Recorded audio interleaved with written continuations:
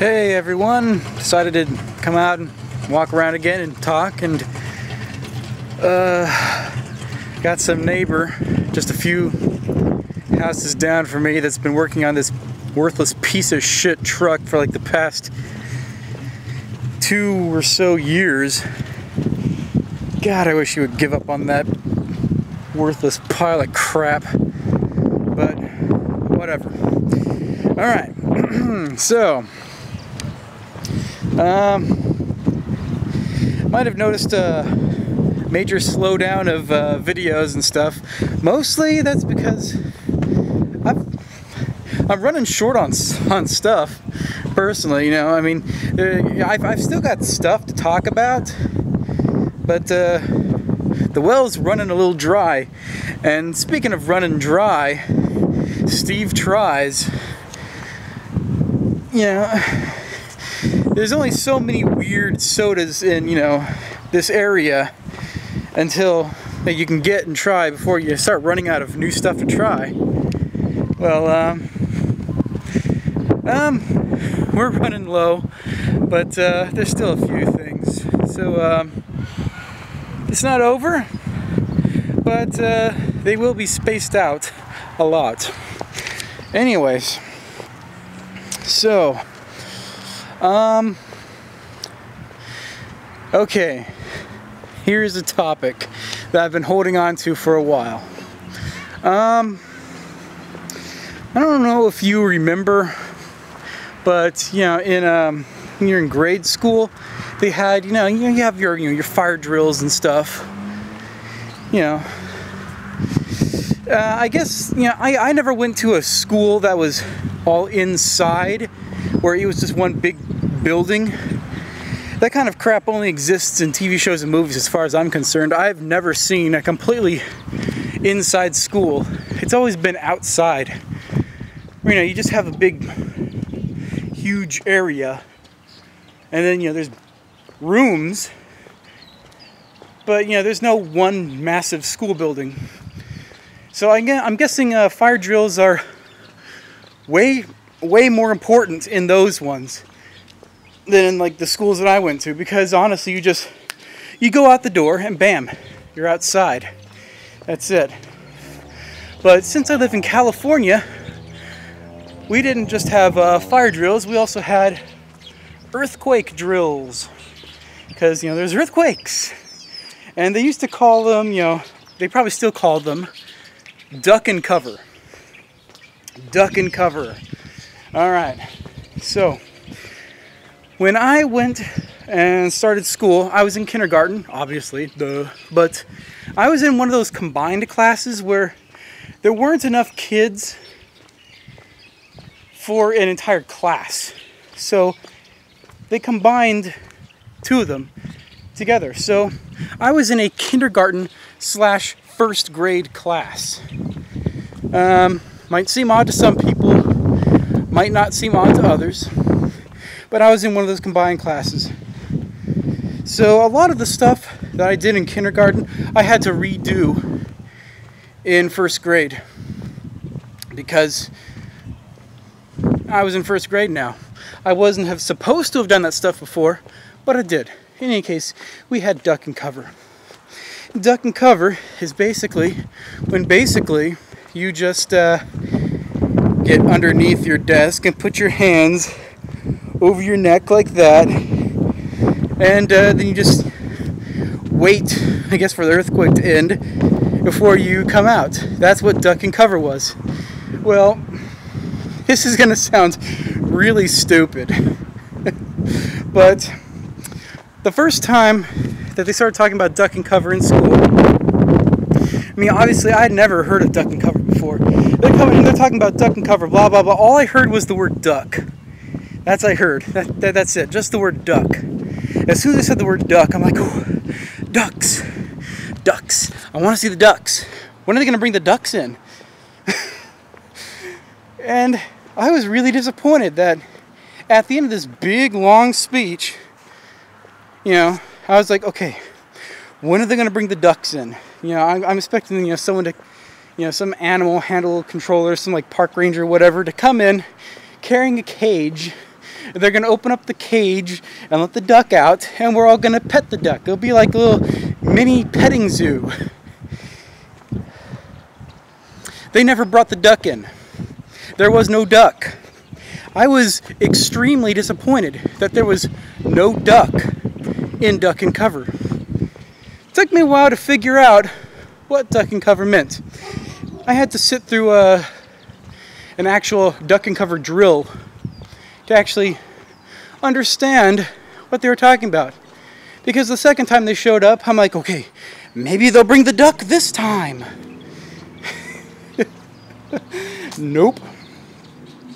That was it. All right. So, we have fire drills where basically, you know, like there's this there's this tone. Like I guess there's like a long tone, unbroken through the PA system, and then you know we all know that. Oh, we got to stand up and walk outside to the designated area on the blacktop. It's not like the inside school where you got to go through the entire school to get out, like in the the movie uh, Kindergarten Cop, where you see kids just come screaming out the front door. No, just stand up, walk outside the classroom door, bam, you're outside, you're safe, you're good. but that wasn't all we had. Oh no. Because not only did we have fire drills, like every school does, and we had duck and cover drills because we're in California, and California is a big earthquake area. We also had flood drills Bloods. Okay. So, there's this lake, like way out there, called Lake Cachuma. Cachuma Lake. It's an Indian word. Anyways, um, Cachuma Lake is pretty deep, you know, for a lake of its size. And, uh, you know, there's a dam holding the water back. Well, inspector came and checked it out and you know there were cracks in this wall. This wall was no longer really structurally sound. So there was you know a time for a few years.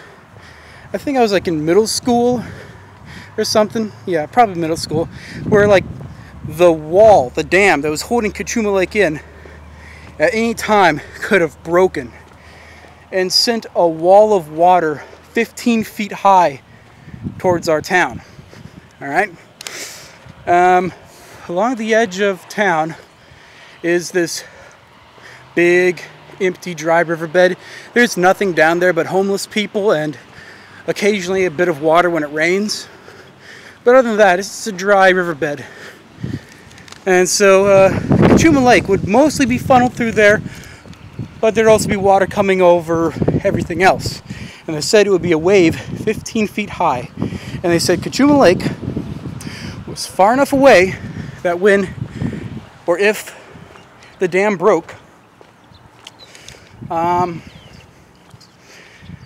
this town would have, I think it was like 30 minutes, maybe 45 minutes to grab what they could and get to higher ground, which meant Snob Hill. We call it Snob Hill because that's where all the rich people live, up on the hill. So, you know, they installed these, you know, speakers all over town with an alarm system, and they tested it out once a month. If I remember correctly, it was the last Friday of every month. They tested it out at noon, just to make sure it worked. After a few years, you know, I guess you know, they had reinforced the dam, it wasn't going to break, and they stopped testing the PA system after a while. But uh, it was kind of weird for those few years, especially when it first came out, because you know there's another thing to worry about. A big ass wall of water, 15 feet high, was going to come towards this town and swallow everything up. Now, of course, back then, I'm thinking, eh, it's just water. I don't really see it being 15 feet high. I really don't think, you know, it could cause that much destruction. Well, lo and behold, for me to find out that where I live is one of the lowest points in town. So if that water is going anywhere, it's going to my house. You know, there's something going down in your neighborhood underwater. And then, of course, you know, there was that big ass earthquake tsunami thing that in Japan a few years back. And yeah, then you got to see exactly how much destruction a big ass wall of water can cause. That was a lot of destruction. So, thankfully, the Cachuma Lake Dam didn't break. We didn't go underwater. Of course, there are more alarms and drills and stuff. Uh, they had bomb drills and everything. I think um, you know our our town has well, it had two middle school campuses. The current middle school campus is the old high school. They built the new high school. High school is held there. Middle school got moved to the old high school. There was also a second middle school, which was closed down for a while, but after a while they decided to start it back up. And so I went there. And it was sixth grade only. Um, it's where they stuck, you know, overflow kids because they just didn't have enough room at the main campus. So I got sent to the secondary campus along with a bunch of other people. And it was just supposed to be a temporary stopgap, only sixth grade. Okay, it's fine. I don't have any seventh or eighth graders lording it over me. Well, next year, there was still overcrowding problems at the main campus. So they said, okay, what we're going to do is we're going to take the secondary campus and we're going to open it up for sixth and seventh graders. All right. And once again, they stuck me there. You know, I'm out on the bottom, and I'm, well, at least at that campus, we were on the top because we were seventh graders, and that was as high as you can go there. The next year, they didn't open up the uh, secondary campus for eighth graders. So I had to go to the main campus, which is okay for me. I mean, I didn't like having to learn a new campus, but you know, whatever. At least I wasn't going to a new campus and being a sixth grader. But that's a little besides the point. I told that because leading up to that, apparently, when I was in seventh grade, the year before I went to the main campus, apparently there was a bomb threat or a bomb scare. Apparently, someone walked into one of the uh, bathrooms on school and they found a soda can sitting on the floor with a bunch of wires and shit coming out of it. So of course they freak out and they, you know, go run to the office and you know, campus gets evacuated and and you know, nothing ever came of it. So it was most likely just a soda can with wires sticking out of it that someone, you know, someone set up there for the fucking lulls. So um, that happened the year before I got there. But um, of course, because of that, then we started to have bomb drills where you know you got to find out you know what to do if there's a bomb and yeah that, that's that's another drill.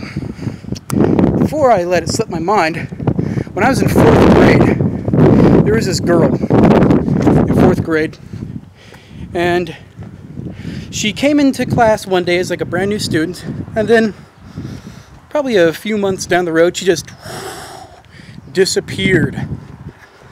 And the cops came to check the room out because apparently she was the daughter of some guys that were dealing drugs um, apparently pretty seriously in this town and uh, uh, there had been, you know, people had said that, you know, they'd seen this, this girl, fourth grade girl, walking around town with shit tons of cash. There's only one reason a fourth grader would be walking around with shit tons of cash, and that's if they're a mule. So she was moving cash for family. Um, I hated that girl. I hated her because she was just a fucking bitch. So when the cops came to check the room out, you know, I had like I had a piece of chalk and I scraped that chalk against the inside of her desk to make it look like, you know, there's white powder sitting there. oh okay. so I scraped the inside of her desk with this chalk, so there was white powder in there. because I wanted her gone. I knew it was chalk dust. The cops would be able to figure out pretty quick that it was chalk dust, but it would just make it so that she would have to leave that much faster. But you know, we never saw her again. We never heard anything of her again, so obviously, what happened is uh, either they arrested the parents and the kid got sent off to somewhere, or what most likely happened is the parents got wind, cops were onto them, and uh, packed up shit real quick and got the fuck out of town. So, there was that. Okay, one last thing, one last drill. Oh, here we go. All right. So, when I was in high school, guess what happened? Here's this little date on the calendar. Ah, 9 11. September 11th, year 2001. So, brother. Of course, that prompted more drills. I live in California, not New York. But, you know, the whole nation is on alert. I remember when it happened. I mean, you couldn't turn on a TV and see the pictures. I'm assuming that's what it was like for, you know, the uh, the JFK assassination or the uh, the Challenger disaster, where you couldn't turn on a TV and not see this. That's what it was like. I mean, you turn on a TV and it's there. Plane crashes into the building, big fireball, then it shows the building collapse. So, you know, we had drills for that kind of stuff too. But uh, here's where it hits kind of close to home for me. You know, like I said, you know, I live in California, which is nowhere near close to New York. But during that period of time, my parents went on vacation to Buffalo, New York for, whoa, for uh, I guess a cousin was getting married. That's why they went there. So they went to Buffalo, New York. And uh, they had left like an, an itinerary, a schedule of, you know, kind of where they were going to be for each day. So, you know, myself and my sister would know, you know, whereabouts they might be on any given day. Well, um, I wake up, terrorist attacks have happened. I go and I check the itinerary. It says right there on the piece of paper, black and white, that on September 11th, they were going to be in New York City. New York, New York. Holy motherfucking shit. You do not know how freaked out I was the entire day. I'm like, holy shit, my parents could be dead. I could be an orphan. You know, me and my sister, you know, we got like no one. My parents could be dead. I don't fucking know what to do. So, you know, I, I, I honestly, I didn't know what to do. I went to school, just like always, and there was a drastically low student count that day. And uh, throughout the day, it just got lower and lower and lower as parents, you know, I guess Ted taking the day off of work, taking a half day or whatever, or, you know, pulled their kids out of school so, you know, they could be home, you know, together with family, that's, you know, the safe thing. I had no family there, just me and, me and my sister. I was freaking the hell out. My parents had not called. Like, I'm sitting there waiting for them to call. Because Um, I tried to call them where it said, you know, with the, the phone number, I guess they were staying with a relative. I tried calling that phone number, couldn't get through. I didn't know at that time that you had to dial a different number to call out of state. So I just kept calling the same damn business and I kept getting the same damn answering machine. I was freaking the hell out. Did not know what to do. Well, probably about seven or eight o'clock at night, the phone rings. I'm like, holy crap! Hello! It was my parents. They're okay. Wanted to check in with us. Story was, they were on the road going to New York. You know, they're on the freeway trying to head into the city when obviously terrorist attacks happened and everything just shut down, standstill. So traffic wasn't moving at all. You know, my parents, you know, they, they're not people that listen to the radio in the car or anything, so they're just sitting there in silence, not knowing what's going on. Finally, like, you know, a police officer or a CHP guy or or highway patrol for New York, you know, he's walking down the road, and my dad rolls down the window, "Hey, officer, uh, what's going on?" And he tells him what happened. So they roll up the window, turn on the radio. Finally, I guess after hours, traffic starts moving again, and it's getting them out of the city. So they turn around, drive back to I guess my aunt's house or whatever, and then they're able to call me. Because you know they don't have cell phones. Anyways, that's uh, all the drills I can remember from school. Shut the fuck up, you goddamn redneck. All right. It's about time that I uh, call us quits. So, um, look forward to future videos. I'm, I'm fucking signing out.